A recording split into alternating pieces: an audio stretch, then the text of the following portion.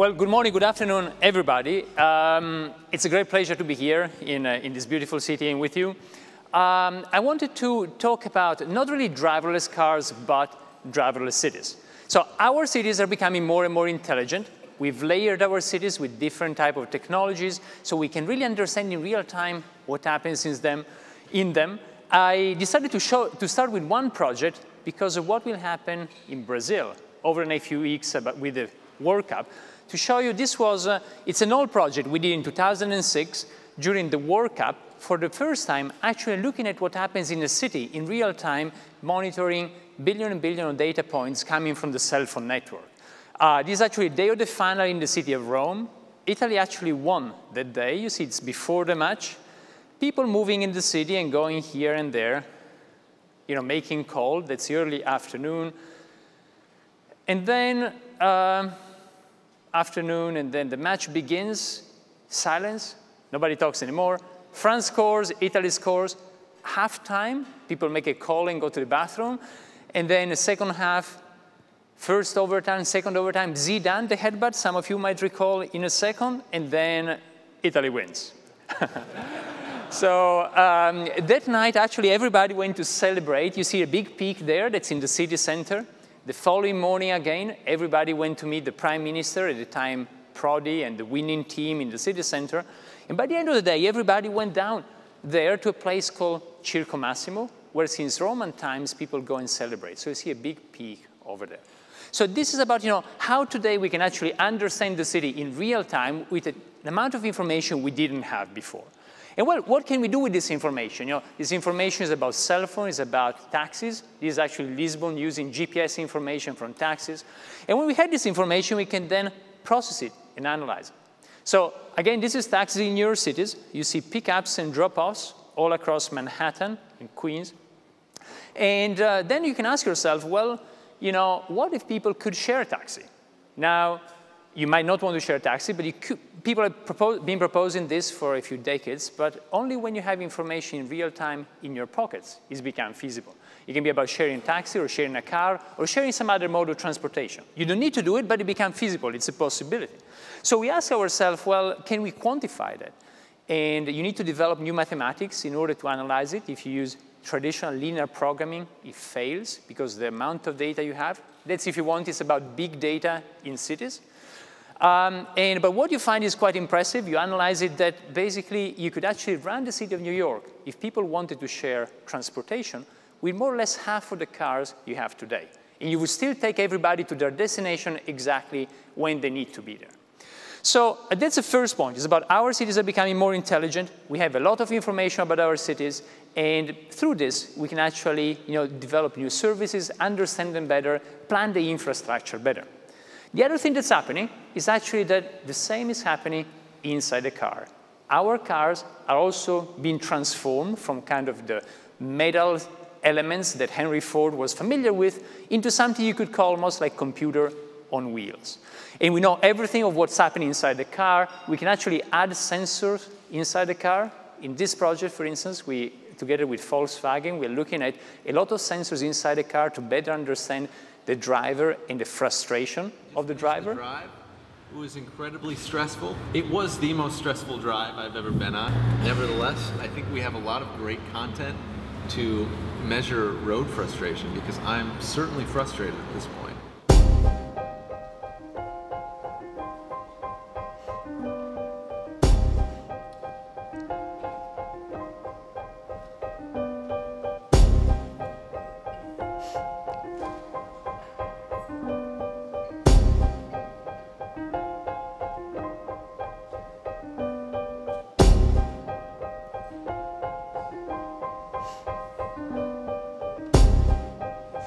And we're off.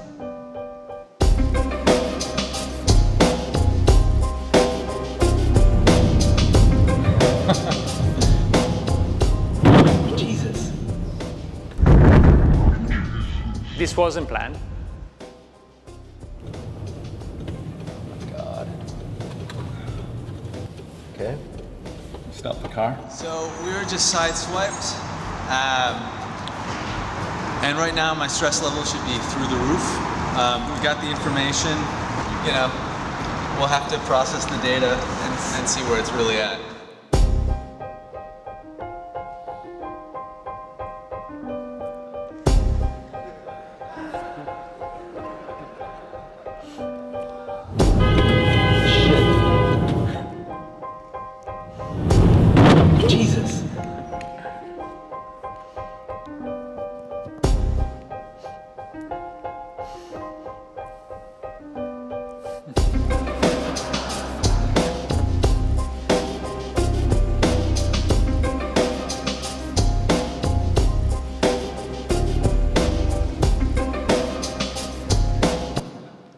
In other terms, um, our cities are becoming more and more intelligent. We know everything about our cities in real time, big data in cities. Then our cars are becoming more and more intelligent. We know a lot about what happens in there.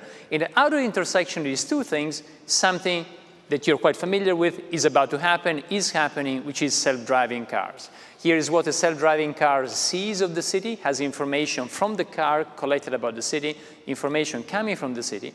Now, we are not interested in the car itself that much. You know, we don't know if it will look like this as Google presented just a few days ago. Um, I hope not.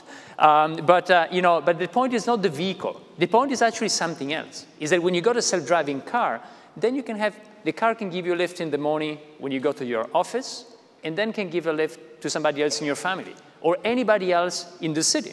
So if you combine this with what we said before, before we saw ride sharing, so if you could share a ride, and if you can share a car it will not be idle in a parking lot, but actually be used by several people, well, theoretically, you could run a city such as Manhattan, a city such as New York, by removing from the streets four cars out of five. And you still take everybody to destination when they need to be there. And we think that's, uh, you know, that's uh, really imagining what is going to change in terms of the parking lots we need to build today and actually parking infrastructure we, that we will not need anymore. Think about, you know, all of how we can really use spare capacity on the system in a much better way through uh, real-time information sharing and, uh, and, technology. Now, the other thing is that if you think about then, in a few, a few years from now, you can think about also uh, traffic uh, intersections, intersections becoming different, something like this. Don't try it yet. Uh, but you know, that tells you about how you could have the different intelligent intersections. This will be later. It will be probably 2000 and, 2040 or 50 when every car will be self-driving. Uh, and uh, you know, if you look at that, it's quite interesting because uh, then the capacity of the road can become much higher. What you see here is a, the difference between a normal in intersection and actually intersection we use a slotting system similar to the one we just saw before.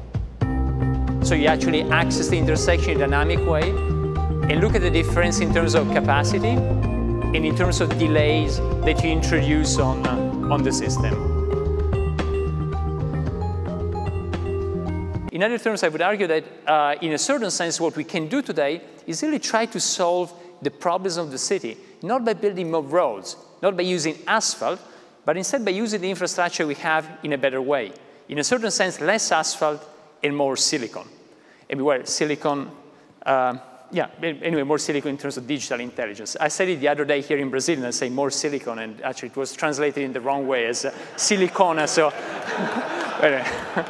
so anyway, um, just to wrap up, all of this is to show you about how this technology is entering our streets, is uh, making our cities, the mobility in our cities different because of sharing, because of real-time information. In the last few seconds, I wanted to share with you how the same autonomy also enters other spaces. It's a project we're doing on the MIT campus. The MIT campus is very messy. Uh, you know, people tend to get lost. There's buildings with different names, with different numbers. Uh, it's very, you know, different place, difficult place to navigate. So we decided to do the following project in order to help people who tend to get lost, and in particular, Harvard students.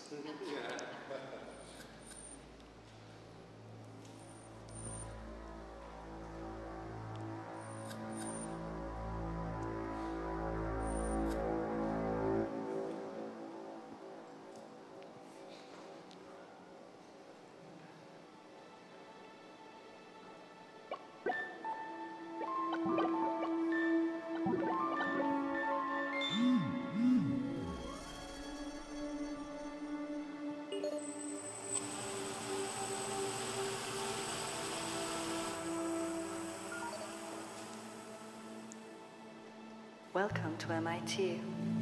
Where would you like to go?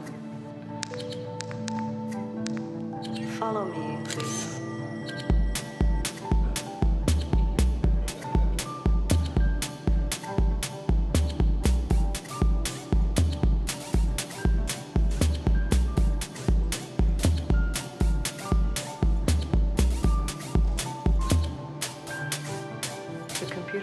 Science and Artificial Intelligence Lab is the largest research lab at MIT. and one of To your right, the Media Lab. To your left, research. the Stata Center. Follow me, please.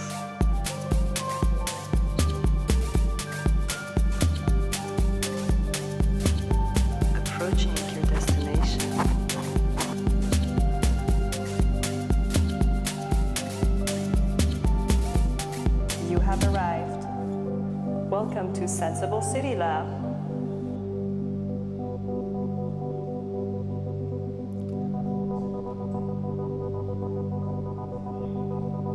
Goodbye. Thank you. Thank you.